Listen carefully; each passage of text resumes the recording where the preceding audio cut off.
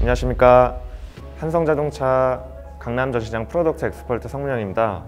제가 오늘 소개해드릴 차량은 S클래스에서도 최상위 trim인데요. 쉽게 볼 수 없고 쉽게 구할 수도 없는 그 귀한 차량을 제가 소개해드리려고 하는데요. 차량 길이만큼이나 이름도 긴 마이바흐 S650 풀만 차량입니다. 지금 한번 보여드리겠습니다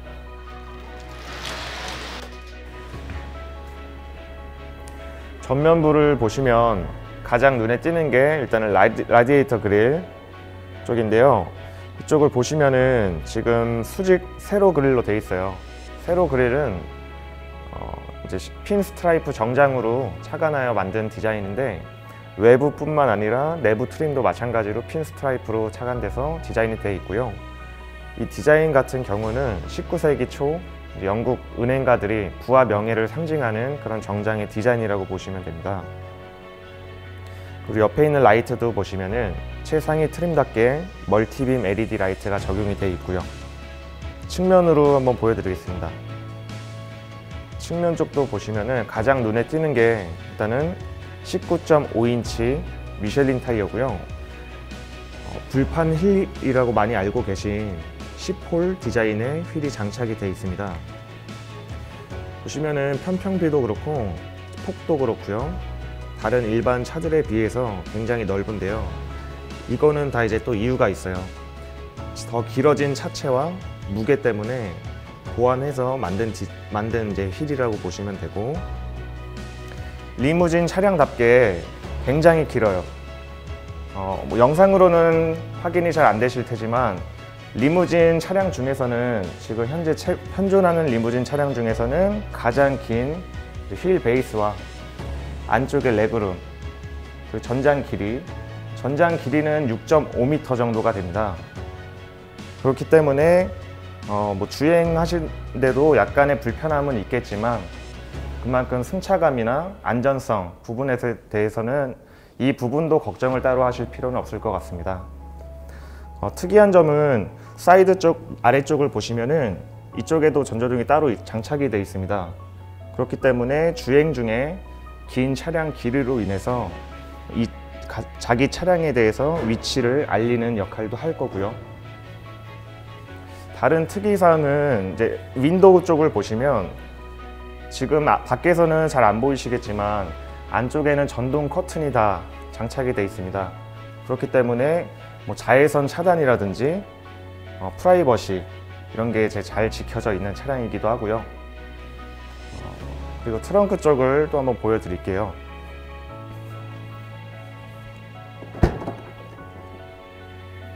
마이바흐다운 구성품은 일단은 여기 보이시는 마이바흐 전용 쿠션이 있습니다. 마이바흐 각인도 그려져 있고 편하게 뒷좌석에서 쿠션 이용하실 수가 있고요. 그리고 한 가지 더 있는 게 어, 전용 차 덮개가 있습니다. 일반 S클래스나 마이바흐 차량에는 제공이 되지 않는데 풀만 차량에는 전용 차 덮개가 따로 준비되, 준비가 되어 있고요. 그리고 트렁크 공간도 이전의 S클래스에 비해서 폭이 조금 많이 넓어졌어요. 6cm 정도 넓어졌기 때문에 뭐 짐을 실으시거나 골프백 이런 물건들을 실으실 때 조금 더 수월하게 어, 실으실 수 있을 것 같고요. 제가 이제 나머지 기능은 뒷좌석에서 탑승하고 설명을 도와드리도록 하겠습니다.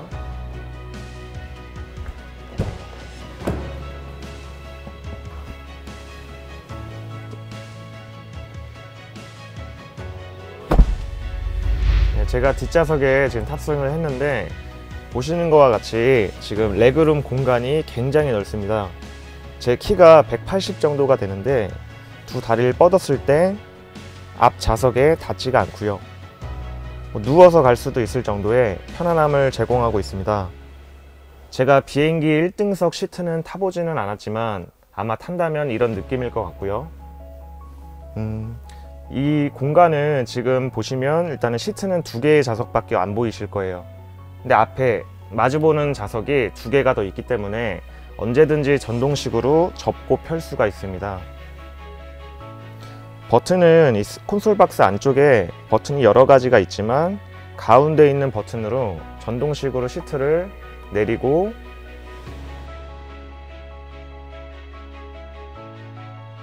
음, 이 옆좌석도 마찬가지로 버튼을 이용해서 시트를 펴고 접을 수가 있는데 뒷좌석은 총 4명의 승객이 탑승을 할 수가 있겠고요. 뒷좌석 시트에서 이제 보시면 이 앞좌석 그러니까 2열 부분을 지금 다시 접어놨어요. 그러면은 모니터가 나와 있는데 여기서는 기존 S클래스와 같이 뭐 DMB를 시청하거나 아니면 뭐 인포테인먼트 다른 기능들, 마사지 기능 이런 차량의 메뉴들을 따로 보실 수가 있는 거고 시트를 접어서 다시 폈을 때는 이 모니터가 없어지잖아요. 그때는 그 유리창 쪽에 18.5인치의 큰 화면을 다시 이제 펼 수가 있죠. 네, 이렇게 큰 화면으로 어떤 거를 보실 수 있냐면 오른쪽에 있는 이 모니터와 연동이 같이 됩니다. 그렇기 때문에 오른쪽 좌석 뒷좌석에서 모니터를 이용해서 뭐 DMB를 틀거나 라디오, 그다음에 차량 메뉴 등을 보실 때는 같이 연동이 돼서 조금 더 큰 화면으로 보실 수가 있고요. 좀 답답하거나 전방의 상황이 궁금할 때는 콘솔 박스 안에 있는 동그란 버튼을 한 번만 눌러주시면 18.5인치 화면에 전방 상황을 이렇게 켜줍니다. 그렇기 때문에 언제라도 궁금하실 때는 이 버튼을 이용해서 전방 상황을 확인을 할 수가 있고요. TV까지 넣게 되면 전방 유리창이 지금 시야가 지금 확연히 보이게 됩니다. 앞좌석과 뒷좌석의 공간을 이제 또 분리하고 싶으시면 옆에 있는 버튼을 이용해서 투명 또는 불투명으로 이렇게 바꿔주실 수가 있는데 불투명이 됐을 때는 전방에서 뒷좌석을 볼 수가 없어요. 그렇기 때문에 전동 커튼과 이런 불투명 차단 glass를 이용하면은 완벽한 프라이버시 공간이 지원이 되고요. 투명으로 해놓으셨어도 저 유리 glass를 다시 밑으로 내릴 수가 있습니다. 이렇게 되면 기존 차량과 마찬가지로 원활한 의사소통이라든지 이런 부분이 가능하게 되는데 프라이버시가 좀 중요하다고 생각이 되시는 분들은 글래스를 다시 위로 올려서 차단을 시켜 놓을 수가 있는 거고요. 근데 이제 궁금하신 게 또 있으실 거예요. 이렇게 글래스를 차단했을 때 앞좌석의 운전자분과 뒷좌석의 승객이 어떻게 의사소통을 해야 되느냐, 뭐 핸드폰으로 전화를 걸어야 되냐, 이런 이제 궁금 질문 사항들이 좀 많이 있었는데 이 부분은 버튼 하나로 또 해결이 됩니다. 여기 보이는 핸드폰 무선 충전 거치대 옆쪽에 보시면 버튼이 하나가 더 있는데 이 버튼을 당기게 되면 인터콤 시스템이라는 게 있어요. 그렇기 때문에 버튼 하나로 앞좌석과 마이크가 연결이 됩니다. 그래서 글래스는 차단이 되어 있더라도 그냥 말씀을 하시면 바로 옆에서 말씀하는 것처럼 그렇게 의사소통이 원활하게 가능하고요. 뒷좌석에서도 켤 수 있고 앞좌석 운전자가 버튼을 앞좌석에서 또 눌러서 뒷좌석과 전화 연결을 할 수 있는 기능이고요. 그리고 그 옆에 있는 버튼은 전동 커튼 버튼이에요. 계속 밑, 당기고 있으면은 전동 커튼이 닫히게 됩니다.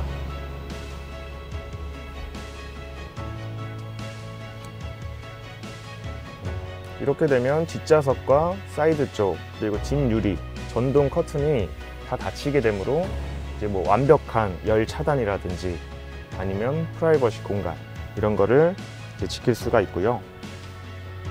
다시 눌러서 커튼을 열겠습니다. 썬루프는 기존 S 클래스나 마이바흐 같은 경우는 뒷좌석에 있는 버튼을 이용해서 열고 닫을 수가 있었는데 어, 따로 이제 개폐는 안 되고요. 보이는 것처럼 여기 이제 전동식 가죽으로 된 커버를 열고 닫는 버튼과 썬루프를 열었을 때는 이제 열이 그래도 들어오기 때문에 자외선 차단이 완벽히 되는 tinting 기능이 따로 있습니다. 그래서 Magic Sky Control panoramic 썬루프라는 기능이 있는데요. 버튼 하나로 마찬가지로 투명과 불투명으로 만들 수가 있어요. 그렇기 때문에 이런 블루 색상으로 바꿔놨을 때는 투, 불투명이 되기 때문에 자외선 차단을 완벽하게 할 수가 있고 다시 버튼을 누르게 되면은 투명으로 바뀌게 됩니다. 그래서 뭐 하늘을 보거나 조금 더 개방 개방적으로 좀 보고 싶으신 분들은 이렇게 열어 놓을 수가 있겠고요. 콘솔, 콘솔 박스를 닫고 제가 냉장고 쪽도 확인을 한번 해드릴게요. 일반 S에서는 옵션 사항으로 적용이 됐었던 건데 마이바흐 풀만 차량에는 기본 옵션으로 장착이 되어 있습니다. 그래서 냉장고를 이렇게 열었을 때 지금 보는 것과 같이 와인이라든지 와인잔 등을 따로 보관을 하고 있어서 여기서 꺼내서 언제라도 먹을 마실 수 있게 이제 준비가 돼 있으 준비를 할 수가 있고요. 냉장고에서 와인을 꺼내거나 아니면 음료수라든지 따뜻한 음료, 차가운 음료 상관없이 기호에 맞게 여기도 컵홀더가 준비가 돼 있어요. 근데 컵홀더도 일반 컵홀더와 다르게 올려놓고 냉온 조절을 할 수가 있어요. 버튼 하나로. 그래서 여기서 버튼을 눌렀을 때 파란색 불이 들어오면 좀 시원하게 만들어주는 기능이고 따, 이제 여기 보이시는 빨간 불은 조금 따뜻하게 유지를 해주는 기능이기 때문에 기호에 맞게 써주시면 될 것 같고요. 앞쪽 팔걸이에는 제가 한번 열어서 보여드릴게요. 여기는 전동식으로 접고 펼 수 있는 2열 시트 쪽이 있죠. 이쪽 좌석에 열선 시트를 따로 켤 수 있는 버튼이 두 개가 있고요. 그리고 사이드 쪽 보시면 이제 커튼이 있어요. 이쪽도 전동식 커튼을 열고 닫는 버튼이 준비되어 있습니다.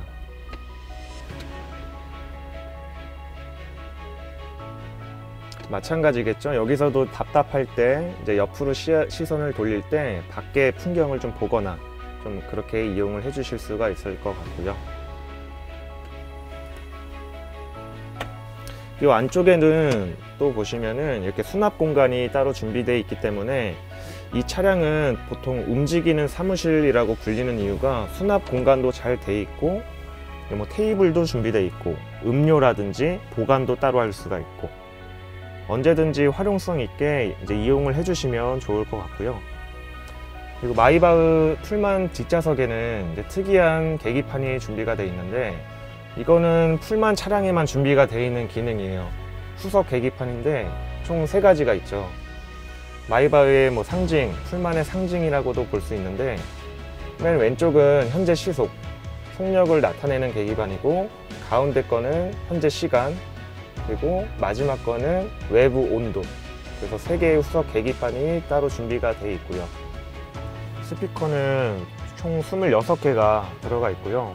이거는 아시다시피 Burmester 뭐 하이엔드 3D 서라운드 시스템이기 때문에 은은한 조명도 같이 들어오거든요. 그래서 조금 더 고급스럽게 안에서 더 이제 볼륨감 있는 그런 네, 스피커를 이용하실 수가 있고 이쪽 버튼으로 또 이용을 하실 수가 있는데 버튼을 눌러보면 색상이 나오, 나오게 되는데요. 빨간불은 열선 시트 3단계로 조절을 할 수가 있고 파란불이 들어오겠죠. 이거는 이제 통풍 시트 마찬가지로 3단계로 조절을 할 수가 있고요.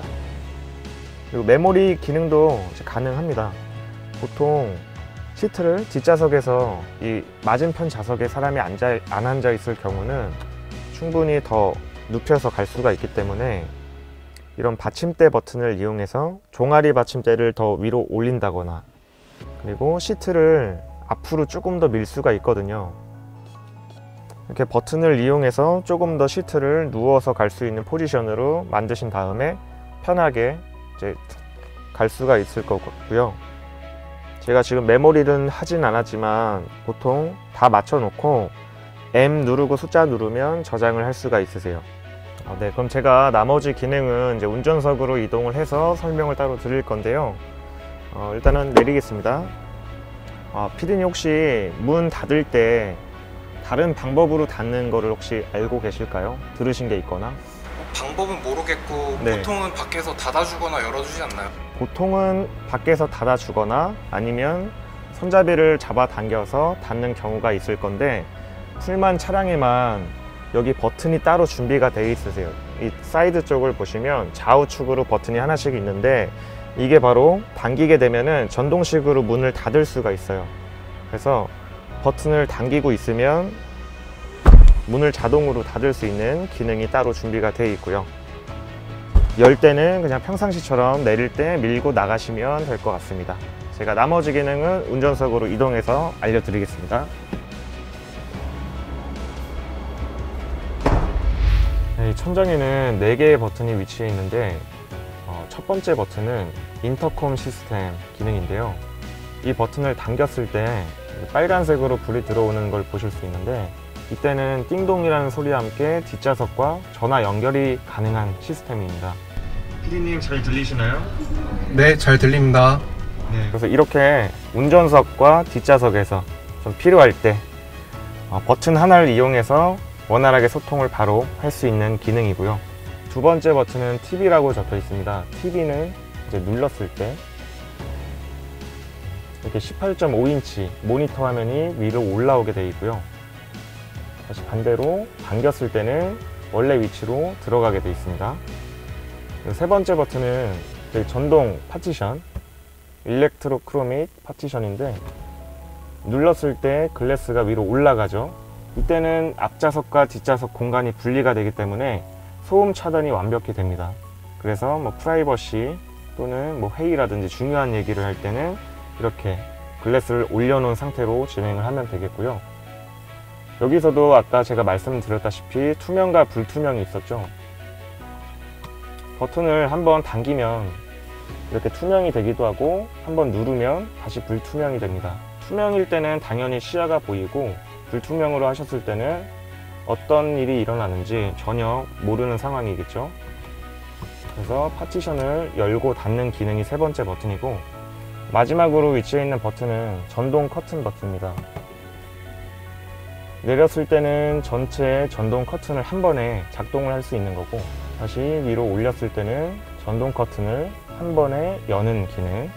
그래서 이 네 가지 버튼이 좀 차이점이 되겠고요. 그 위에는 어차피 다 동일한 버튼들이라서 간단하게만 짚고 넘어가겠습니다. 실내등 관련된 버튼과 SOS라든지 아니면 미 버튼으로 메르세스 미 활성화할 수 있는 이런 버튼들이 위치해 있고요. 네, 지금까지 S650 풀만 차량에 대한 설명을 드렸던 강남전시장 Product Expert 성문영이었습니다. 어, 더 많은 영상도 업로드될 예정이오니 궁금하신 거는 가까운 한성자동차 전시장으로 문의 주시면 되겠고요. 아래쪽에 좋아요와 구독, 알림 설정까지 부탁드리겠습니다. 감사합니다.